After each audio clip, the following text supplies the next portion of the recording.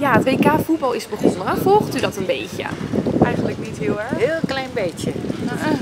Als er niks anders op tv is. We kijken wel, eh, we kijken wel. eh.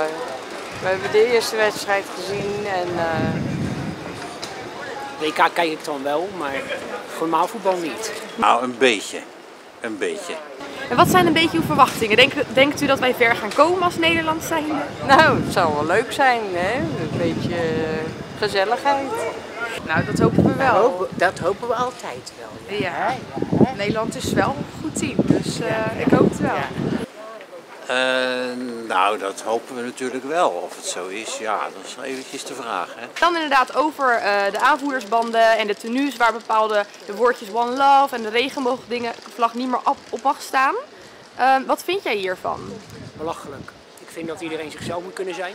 Weet je, ik val zelf ook op mannen, dus ik vind het belachelijk dat dit zo, eh, dit zo wordt eh, aangekeken, zeg maar. Nou, sorry hoor, denk ik dan. eh, van, eh, waarom zijn, hebben ze dat toegestaan om naar zo'n land te gaan? Waar, hè? Nou, dat vind ik helemaal niks natuurlijk. Is het nou voor gedoe, joh? is toch Ja. mooi als je zo'n zo'n mooie band om, om kan doen? Ik vind sowieso dat iedereen wel gelijk moet zijn. Dus in zoverre. Absoluut. Ja, dus dat het niet, mag gedra- eh, niet gedragen mag worden, vind ik eigenlijk wel een beetje jammer, een beetje zonde. Maar je moet het wel respecteren. Ja, want ze komen wel in een land op visite. Maar wat is het voor land? Er mag daar heel veel niet. En ik vind juist, doe het maar wel. Misschien help je die mensen er nog mee.